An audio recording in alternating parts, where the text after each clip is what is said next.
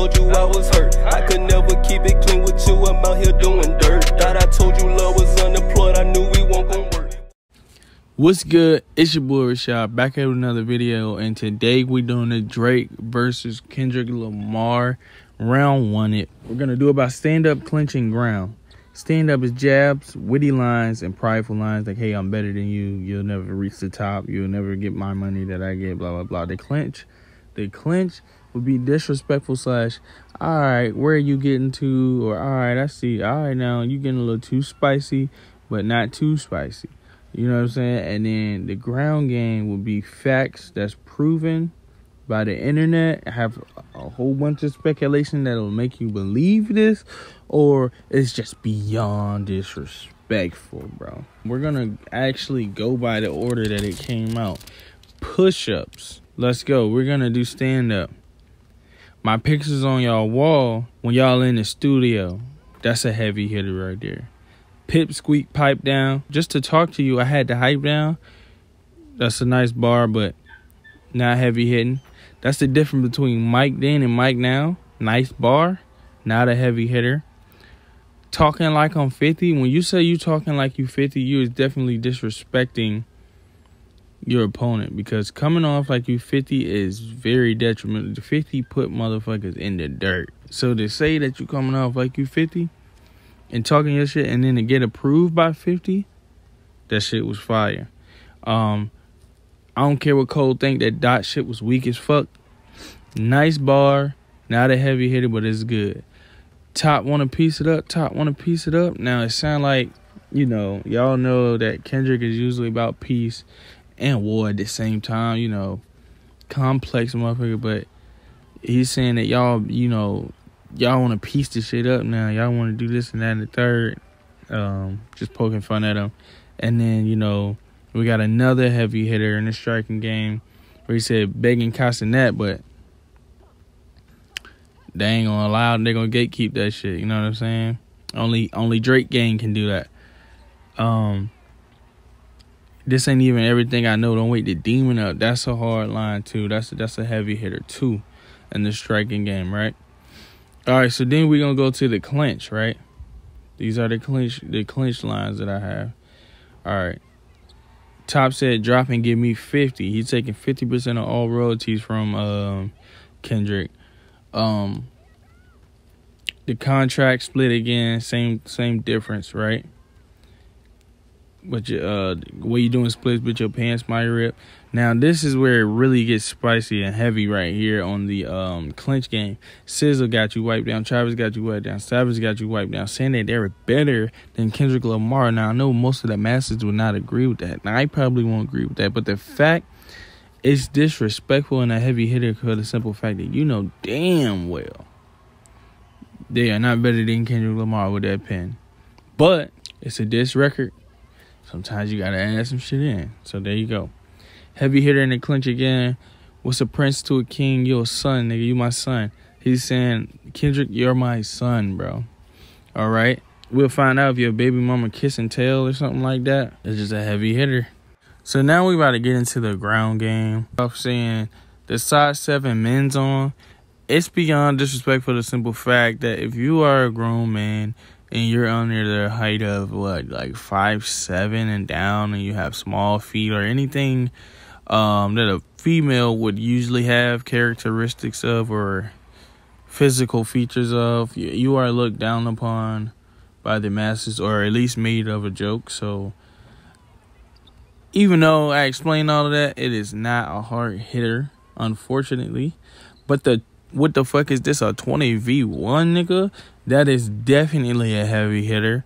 Um it's proven fact that there's a lot of people going against drake right now anyway. So it is a 20v1 and then another grappling take bodyguards with me like whitney.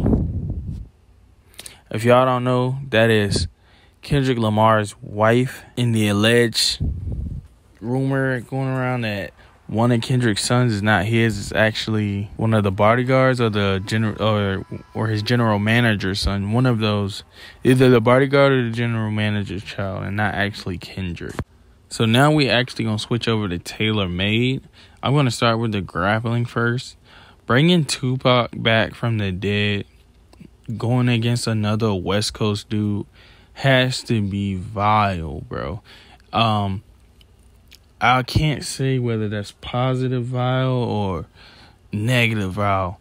Um, me personally, but at the same time, it's a very strategic move. It's a very petty move.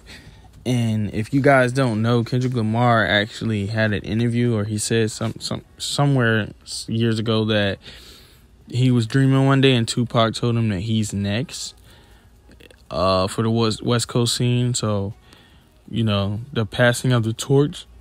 That's a heavy hitter, though. Trying to, you know, just bringing that Tupac voice out in a rap beef, knowing that that's one of K Dot's favorite rappers, or you know, he idolized him growing up. Um, and then another grappler is Dot. Uh, we know Dot struggling in that New York apartment. I think that's wild because, and it's a heavy hitter because like, what if he didn't know? You know, he didn't want the world to know that he lives in New York somewhere. Cause people are weird. You know what I'm saying? So, I feel like that's why that's foul, right? So let's get into the striking. Um, bringing in Snoop Dogg, I feel like it's less vile than the Tupac thing. Snoop Dogg's still alive. It's just one of those weird things where like he's really just poking fun at his street cred and how it's really his homies and he never been in jail. Kendrick, we're talking about. Um, that slaps. Uh, and then he said something about yeah he had a bowel movement. He's shitting on people. I feel like that slap. Um, this is one of the heavy hitters in the striking lane. Taylor Swift making Kendrick wait to drop something because she got to approve of it was a very very maniacal way of explaining that, and uh, I think it, I think that was pretty cool. Um, since like that he's uh he's not as enthused. How are you not in the booth? two nice little lines there. Um, a heavy hitter was on that part was uh, he got to take another four months or a month or a week uh, to learn how to improve to even respond. So that's kind of nice. Um, definitely a heavy hitter actually. Ammunition, you know, he got ammunition. Uh, whenever Kendrick dropped, he said said that he's out on the loose, so that's a threat. Um, but nonetheless a regular bar. And then the last strike, he said, um, you know, Dot, we waiting on you. What you about to do? Okay. Then we go to the clinch. Clinch, um, it's just that part where he's like, oh no, no, no, no.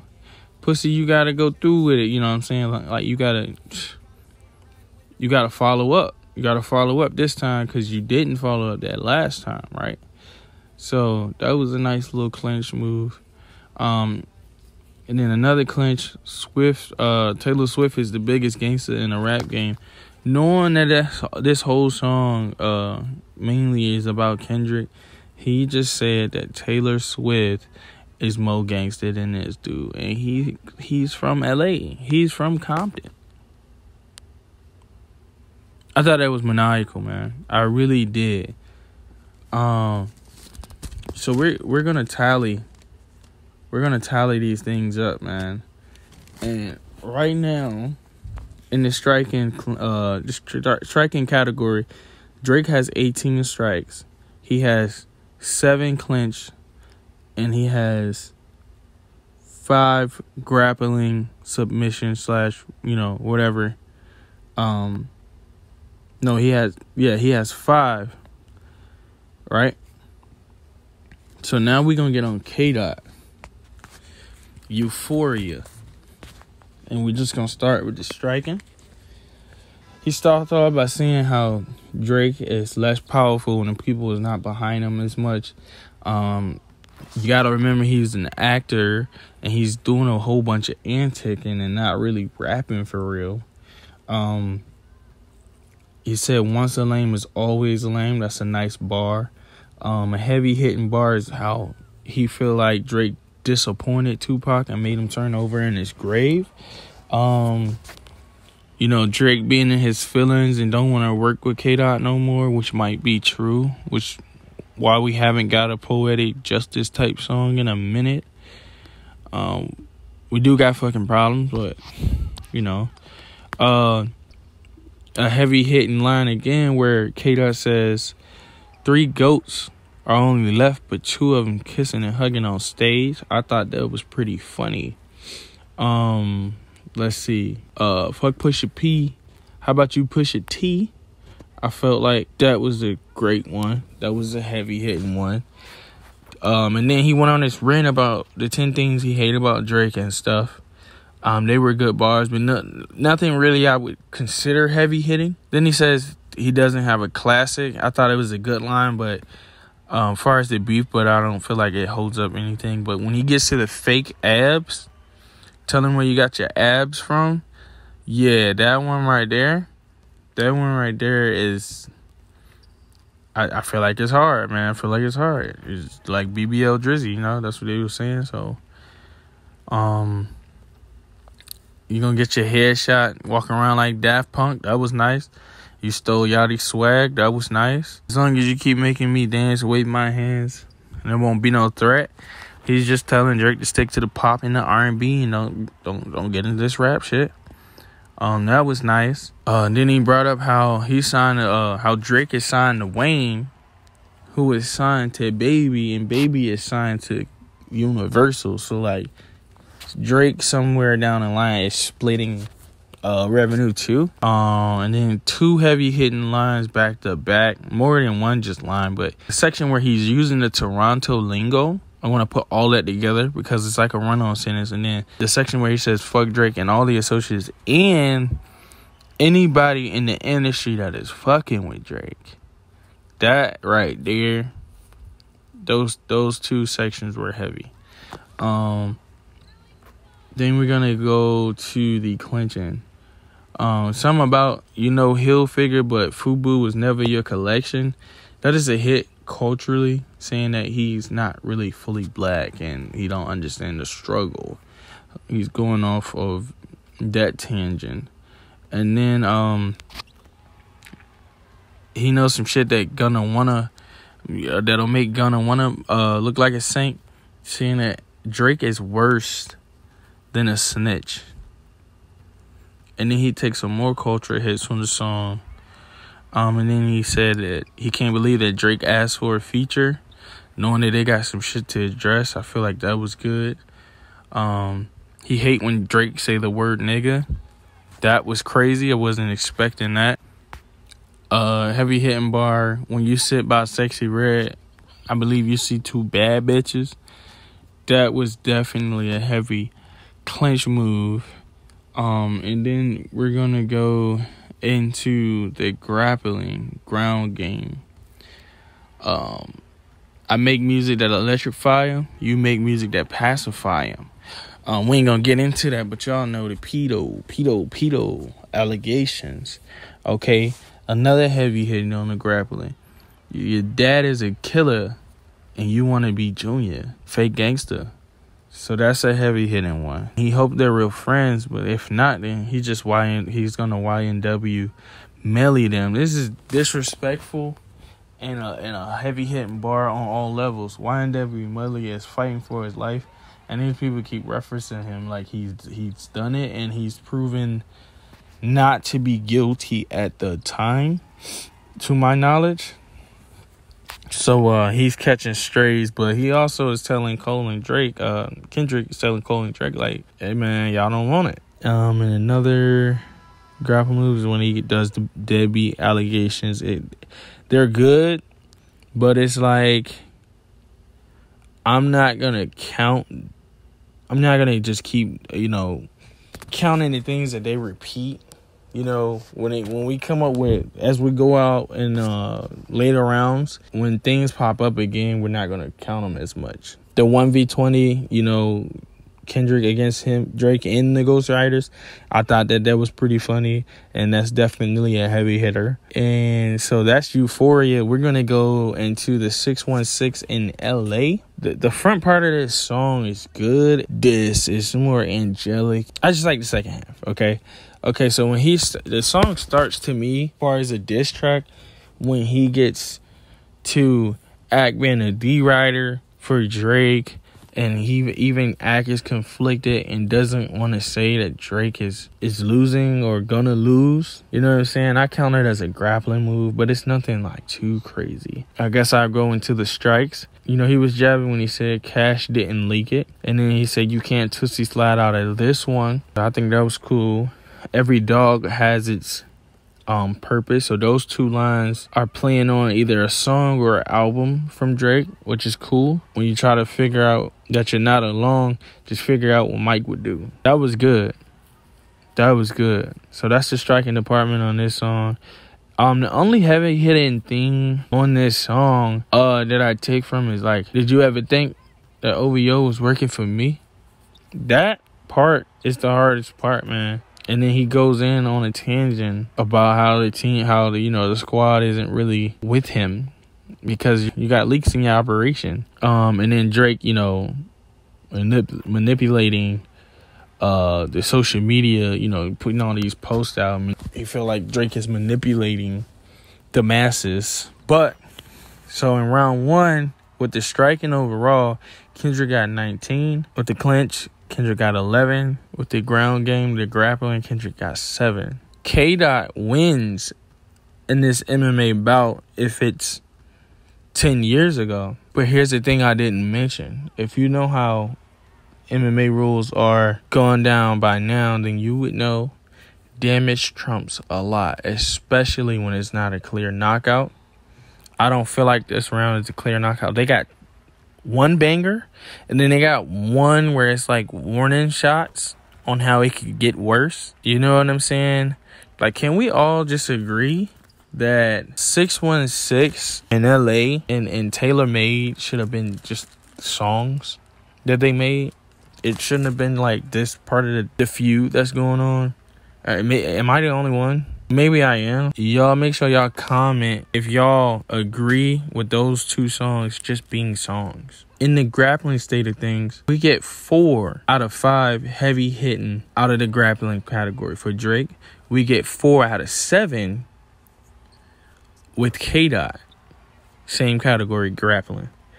Okay, then we go to the clinch. Out of the seven, only four really, really hit only four really, really hit for Dre. Out of 11 clinch, only four really, really hits for K Dot. So now it comes down to the striking. K Dot is already up at least seven points off of the old rules, which was plain and simple. You just had to be up and have those numbers and those landed shots. But this is damage, and it came down to the striking. And with the jabs being thrown, K Dot has six of them powerful things, and Drake got seven. That was just damage. I feel like it's really just ooh, like one of those moments, y'all, at the lunch table and you really say something mean or whoever's rapping really say something that's so bad that the whole table just like, ooh, like you can't skip past that one without addressing that one. You know what I'm saying? And Drake wins by damage, not by the numbers. Because if we just go on bars and bars and bars and bars, I'm pretty sure K Dot got him a couple of numbers, and it's not like a blowout. It's not like a blowout, but it's this close. So if I'm not mad if anybody round one and we're doing this like how it came out, two songs, two songs. If you go K Dot way, it's it, it's it's an argument because this is very close with the damage on. It's very close. He got seven out of eighteen damage damage uh damage shots for Drake, and then K got six out of nineteen. This is what I have for the round one. I know I'm a little behind. I'm gonna catch it up, but I'm just saying, man, like it's closer than what y'all think. If you think it's just like a landslide on either side, you are just a biased fan. I don't think y'all should be biased. I don't think y'all should be biased, but also, do y'all like my format and were you guys able to keep up with it? If not, that's fine. You know what I'm saying? But just let me know, like, y'all like this format? And if so, I can keep it going for this next round. So yeah, make sure y'all like, share, subscribe. Let me know if y'all agree down in the comment section. I just it, it took me a little while to make this it took me a little while to write this. I wrote this down, man. I wrote it down on mail paper. That's how I know I was dedicated to doing this. Family Matters versus Meet the Grahams. Stay tuned. Peace, love, prosperity. I'm out. Peace. I just did that. Like, yeah, yo. Shit.